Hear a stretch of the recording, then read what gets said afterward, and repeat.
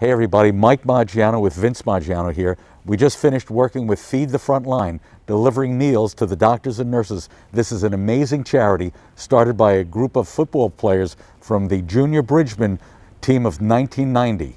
They were champions. They were undefeated and unscored against. They uh, came together, they're still friends, and they organized Feed the Front Line. We're going to head back inside and I'm going to show you the footage we took today.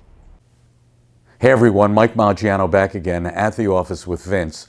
We'd like to show you some of the footage we took today uh, out at Holy Name Hospital and other hospitals, as well as the restaurants. What you're going to see are Feed the Frontline members in action.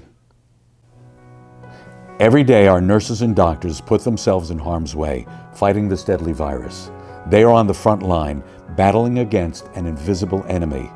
And they know they are in the line of fire.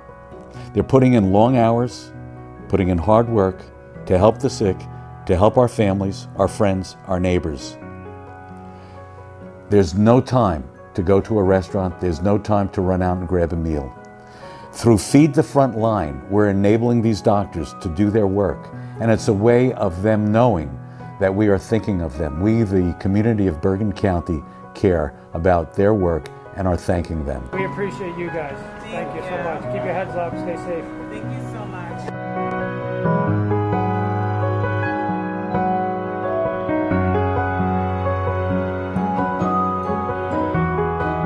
Uh, for them, uh, you have to see the smiles on their faces when this food is being delivered.